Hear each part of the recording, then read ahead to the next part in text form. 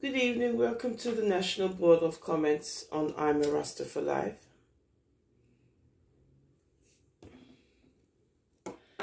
Hope you all are having a wonderful morning, evening. And um, I wanted to talk about something in reference to what's being spoken about um, on social media with, you know, the school children having a spiritual attack. Okay, well, you know, that's very sensitive when it comes to children. So, um, I just want to read something in Corinthians. I'll let you find it yourself, but it's in Corinthians because sometimes people just want to gather information and then go take it for themselves, but they don't want to look for the information themselves. But on I'm a Rasta for Life, the National Board of Comments, we always have the information. Please remember to click the subscription button and press the like. I know I might have reoccurring people who's already done that, which is okay. But you new people who's coming over, it would be very great, greatly appreciated if you would press the like button. I noticed that, you know, ones are not pressing the like button. I'm not here on social media to gain anything, but, you know, to share knowledge. So everybody else presses like buttons, but with me, for some reason, you guys don't want to press the like button because what? You don't like the content I'm producing? Well, if you don't like the content, you shouldn't be over here watching it. Good? So I would prefer you press the like button. It helps the algorithms and so forth and so forth. I'm not gaining anything. Great. I, I only have 93 subscriptions. I don't think I'm a threat to anyone right now. On I'm a Rasta for Life, the National Board of Comments on YouTube.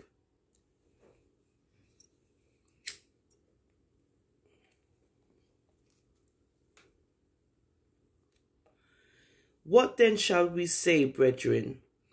When you come together. Everyone has a hymn or a word of instruction, a revelation, a tongue, or an interpretation. All of these must be done for the strengthening of the church.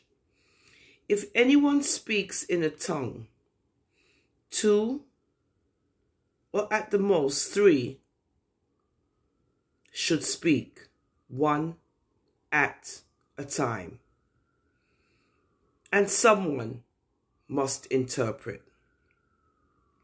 If there is no interpreter, the speaker should keep quiet in the church and speak to himself and the Almighty. Two or three prophets should speak and the others should weigh carefully what is said. And if a revelation comes to someone who is sitting down, the first speaker should stop. For you can all prophesy in turn, so that everyone may be instructed and encouraged. The spirits of prophets are subject to the control of prophets. For the Almighty is not a God of disorder, but of peace. As in all the congregations of the saints, women should remain silent in the churches they are not allowed to speak, but must be in submission as the law says. If they want to inquire about something, they should ask their own husbands at home. For it is disgraceful for a woman to speak in the church. Did the word of the Almighty originate with you? Or are you the only people it has reached? If anybody thinks he is a prophet or spiritually gifted, let him acknowledge that what I am writing to you is the Lord's command. If he ignores this, he himself will be ignored. Therefore, my brethren and sistren, be eager to prophesy and do not forbid speaking in tongues, but everything should be done in a fitting and orderly way.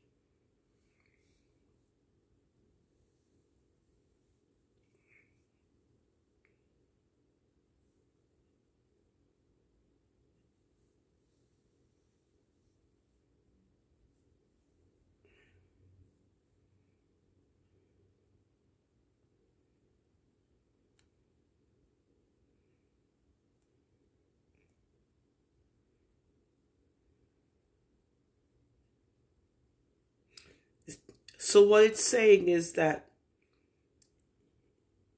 in some manuscripts, if he is ignorant of this, let him be ignorant. Good? So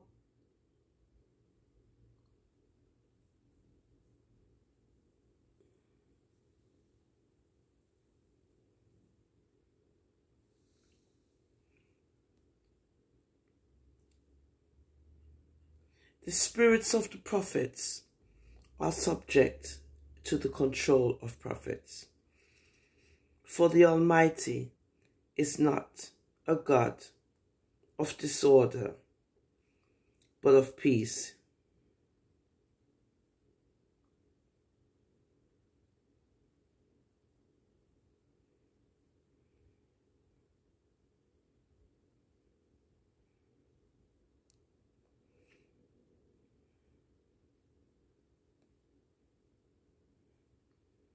And this reference in speaking in tongues is about different languages.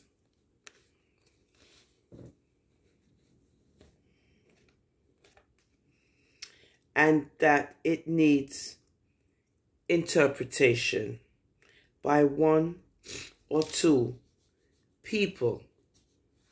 Good. That's languages.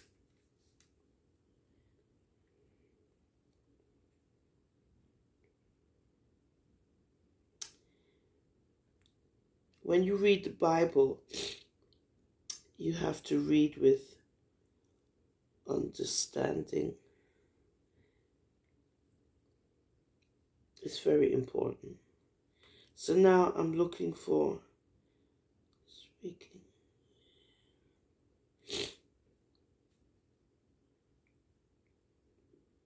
But it's dark in here. Spear, spear.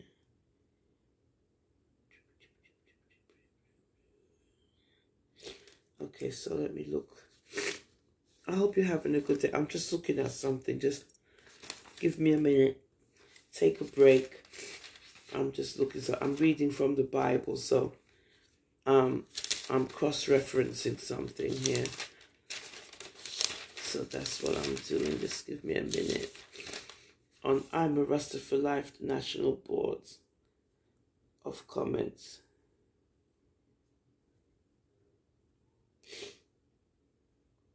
Um, so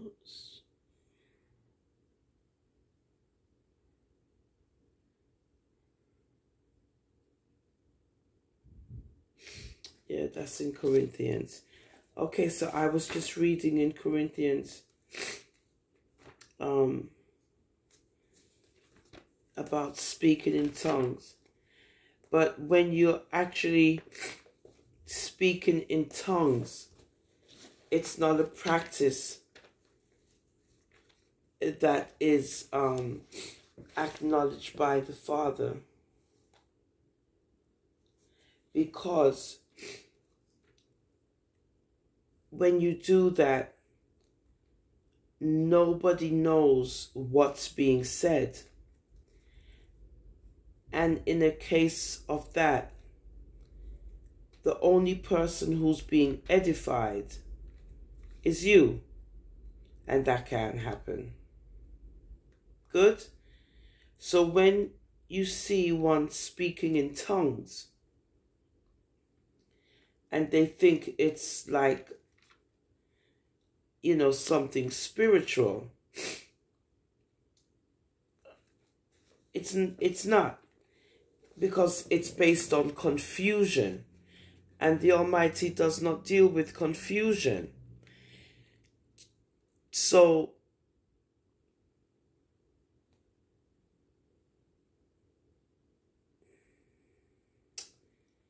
in Isaiah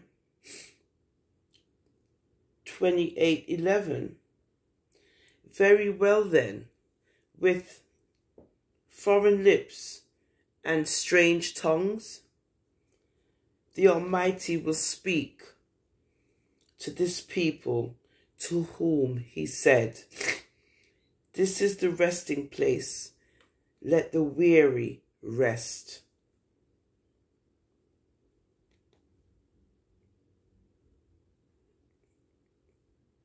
Good? Okay. So,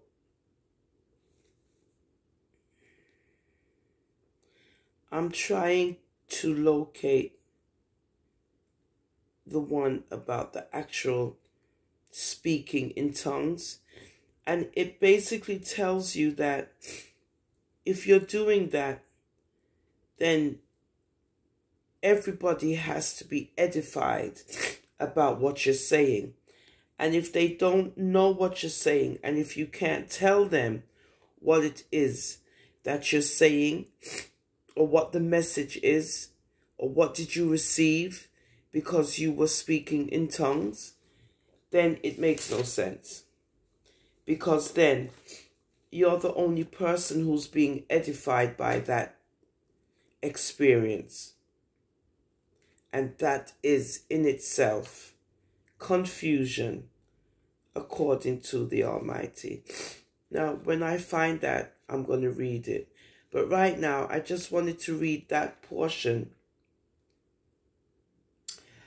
about speaking in tongues.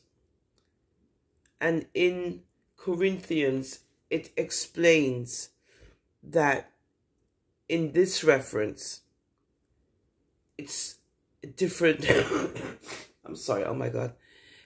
It's different languages it's not a spiritual event.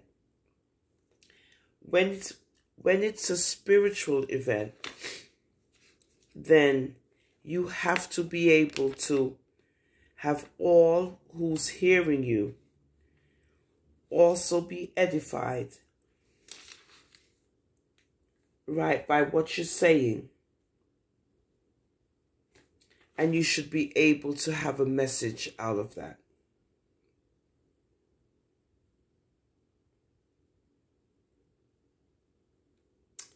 Um,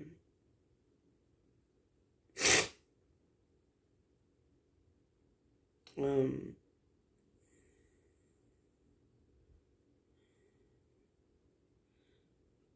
I'm trying to find it.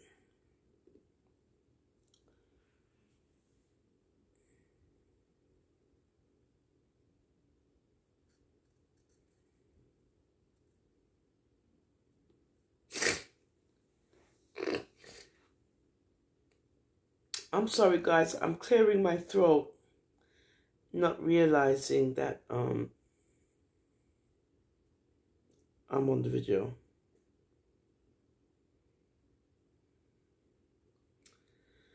When these people or a prophet or a priest ask you, What is the oracles of the Lord?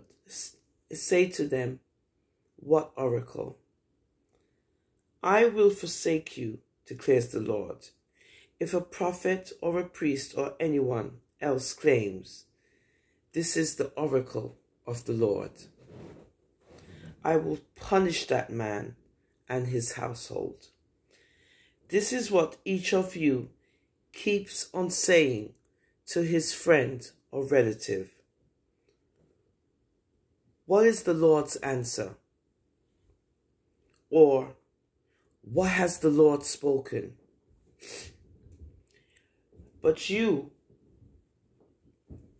must not mention the oracle of the Lord. Again, because every man's own word becomes his oracle, and so you distort the words of the living God, the Lord Almighty, our Father. This is what you keep saying to a prophet. What is the Lord's answer to you? Or what has the Lord spoken? Although you claim this is the oracle of the Lord? This is what the Lord says. You use the words. This is the oracle of the Lord, even though I told you that you must not claim. This is the oracle of the Lord. Therefore, I will surely forget you and cast you out of my presence, along with the city I gave you and your fathers. I will bring upon you everlasting disgrace, everlasting shame that will not be forgotten. And that's in Jeremiah. Okay? So, um, I just wanted to do that little reading on speaking in tongues and the variations of that. And the important message is that when you are speaking in tongues, you have to have a message that comes out of that. And not only you alone are to be edified, everyone who is hearing has to also be edified because you now have to be able to tell a message or something from you speaking in tongues in order for everyone to be edified on I'm a Rasta for Life, the National Board of Comments. Because our Father in Zion, he does not deal with confusion.